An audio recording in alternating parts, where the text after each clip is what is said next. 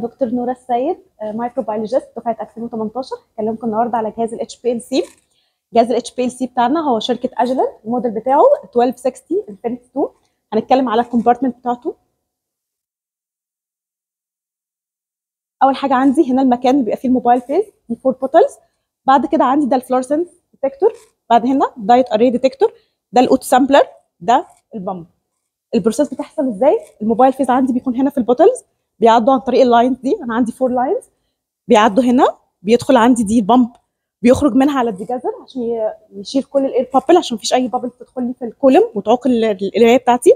بعدين بيعدي عن طريق ال pump بيسحب ال mobile phase ويعدي هنا عند ال auto sampler عن طريق ال auto هنا ممكن العينة بتاعتي ال sample بتاعتي اسحبها عن طريق حاجتين. يا إما عن طريق ال auto sampler عن طريق ال needle دي يا إما عن طريق manual Hamilton syringe بح... هنا مكان ال auto sampler ولو أنا هفصلها وأخليها manual بشيلها وأحقنها هنا مكان ال auto sampler.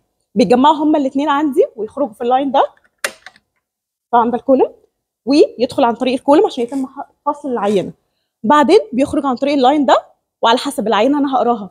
diode array detector ولا fluorescence detector لو diode array detector خلاص هيتم عند هنا وبعد كده يخرج عن طريق ال waste لو fluorescence هيكمل عن طريق ال fluorescence وبعدين في الآخر يخرج عن طريق ال waste دلوقتي هنتكلم على ال software إزاي هنفتح ال software وإزاي نقدر نعمل to create new method. الأول بندوس على ال control panel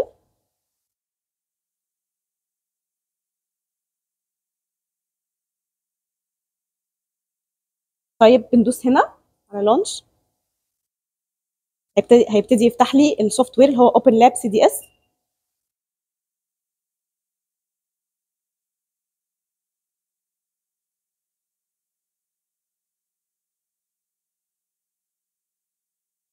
طيب أنا دلوقتي عايزة أعمل create ل new method اللي أنا هدخلها على الجهاز اللي بناء عليها ال system هيمشي على ال method بتاعتي دي.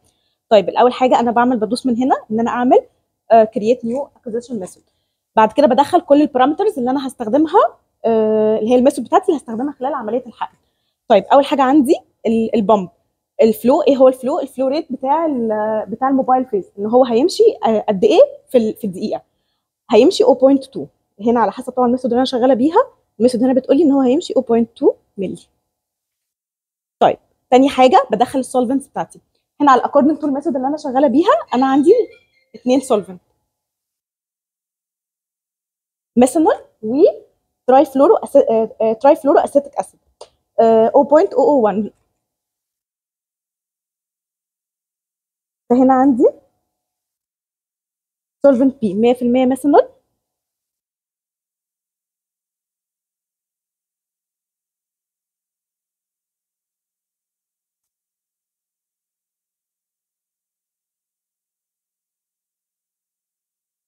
وهنا 0.01 TFA pH 2.9 تمام. آه أنا هنا ال method عندي هتبدأ isocratic إن أنا هيبقى 100% ميثانول بعد كده هيبتدي يبقى gradient طيب بدخل ال gradient ده إزاي؟ بعمل هنا باجي عند الجدول ده بدوس add أول حاجة عندي بيقول لي إن أنا آه أول طبعا أول دقيقة اللي هو 100% من ال solvent B اللي هو الميثانول. طيب بعد كده عند أربع دقائق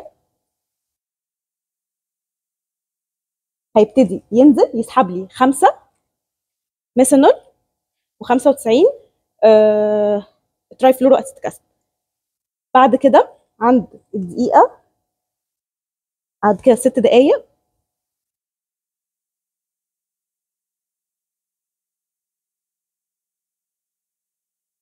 هيرجع تاني يبقى 98 هنا 2 وبعد كده هيفضل ثابت لمدة 20 دقيقة تمام؟ على نفس ال ال ال الترك يعني نفس السحب دي لمدة 20 دقيقة.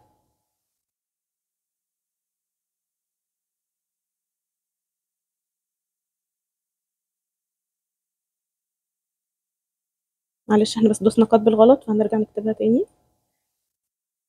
20 دي برضو 98 زي ما إحنا. وهنا 2 بعد كده هنرجع. gradient تاني. آخر خمس دقايق. تمام؟ نرجع تاني لخمسة خمسة في المية ميثانول خمسة وتسعين في المية TFA آه بس ده كده خلاص كتبنا الجدول بتاع ال gradient هندخل على الحاجة الثانية اللي هن- هندخلها إيه ال sampler إن أنا هدخل هيحقن قد إيه يعني هيسحب قد إيه. هيسحب ال injection volume هيبقى عندي 3 مايكرو تمام. بعد كده هنا ال column oven بتاعي ان أنا درجة الحرارة بتاعت ال method بتاعتي شغالة على درجة حرارة قد إيه؟ على حسب ال method عندي ان أنا شغالة على درجة حرارة 30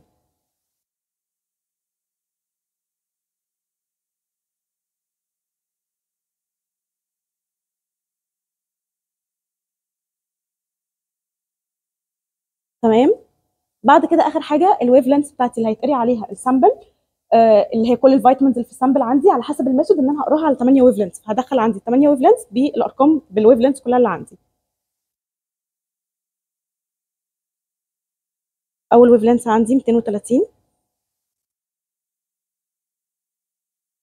بعد كده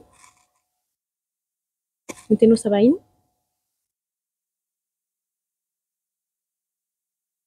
بعد كده 265 بعد كده 256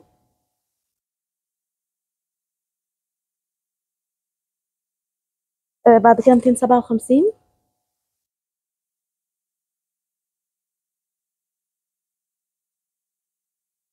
266